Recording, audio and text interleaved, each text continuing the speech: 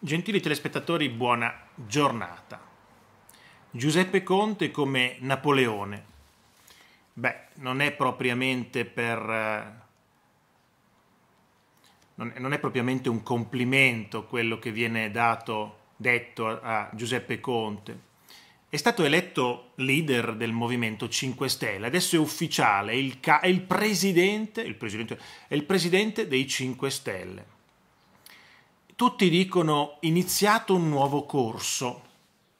E questo è quello che dicono i grillini nelle loro chat.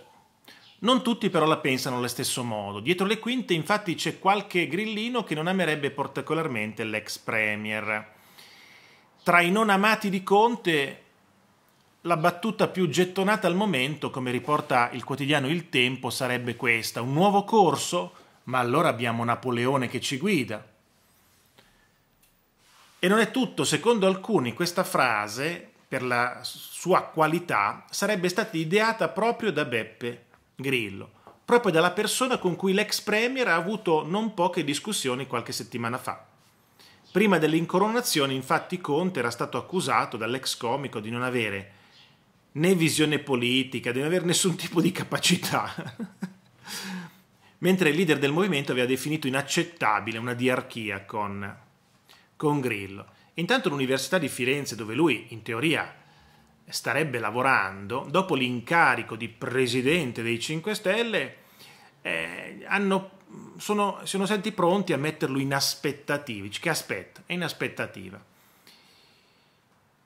L'università dice ha preso dai mezzi di comunicazione la notizia dell'elezione del professor Giuseppe Conte a presidente del Movimento 5 Stelle L'Università di Firenze ha chiesto al docente comunicazione formale della data di decorrenza del mandato per poter procedere a collocarlo in aspettativa senza assegni, secondo quanto previsto dall'articolo 13 del DPR 382 del 1980.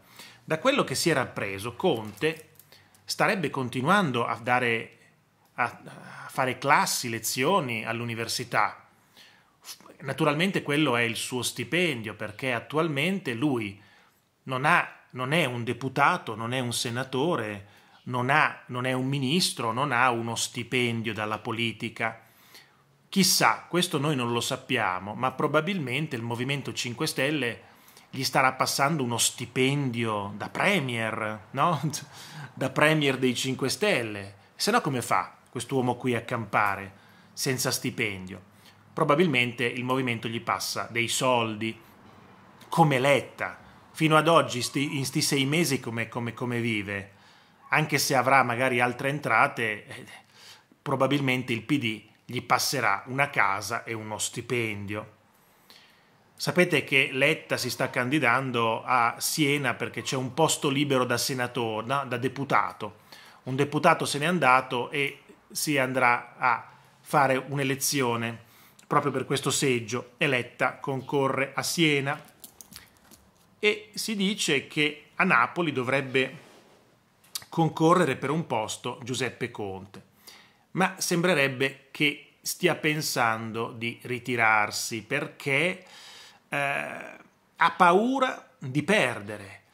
Sia Conte che Letta sanno perfettamente che il centrodestra a livello nazionale è in vantaggio però perché vanno a correre lì? Vabbè, che sono i posti liberi, sono quelli, però in Toscana, a Siena, Letta spera di essere nel, eh, tra i sinistri che lo votano, dice, beh, qui il centrodestra è meno presente, che poi non è mica tanto vero, eh? non è mica tanto vero che in, in Toscana adesso siano tutti a sinistra, mm, non mi sembra proprio.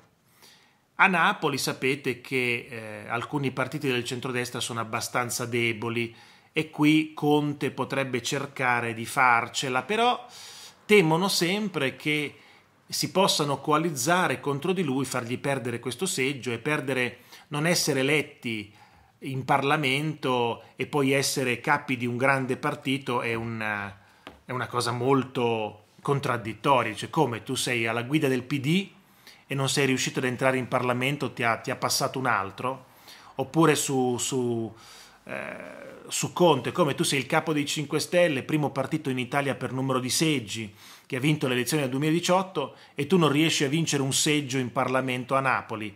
Capite che se i due dovessero perdere questi seggi, eh, vabbè, eh, Letta ha già detto che in quel caso ripenserà a tutto, vuol dire che eh, darebbe le dimissioni. Conte invece ufficialmente non ha detto mi candido a Napoli perché ha paura di perdere, allora preferisce aspettare le prossime elezioni quando automaticamente diventerà un senatore della Repubblica. Eh, è troppo rischioso adesso, io sono convinto che i due prendano un, un, uh, uno stipendio dai loro, dai loro partiti, se no non mi spiego come fanno ad andare avanti, questa è la realtà. Solo che nessuno sui giornali non ho mai trovato un articolo con scritto ah, a Conte passano tot euro al mese a Letta passano tot euro. Deve essere un accordo rimasto realmente molto riservato e nessuno è riuscito a fare uspiuna. Sai quelli che telefonano ai giornali, ah c'è una notiziona. Ecco, però dat- datemi la 100 euro, eh. C'ho una notizia, passatemi la 150 euro, eh. Ecco, bene. Su questo io vi ringrazio.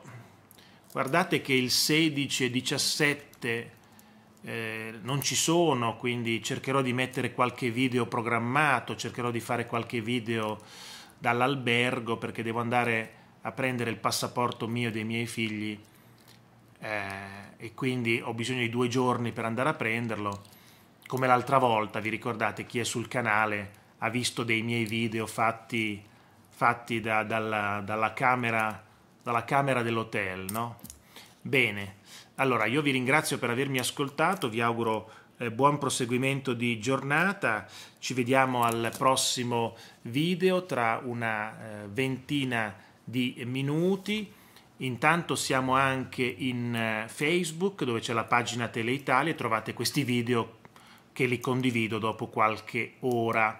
Mentre ehm, c'è anche un altro canale che è mio, che si chiama Teleitalia Seconda Rete, qui su YouTube, dove ci sono i video miei e di mia moglie che fa tutte queste cose qua, questi, questi lavoretti fatti con la gomma, eccetera, eccetera. Quindi vi invito a visionare anche quel canale. Grazie a tutti e buon proseguimento di giornata.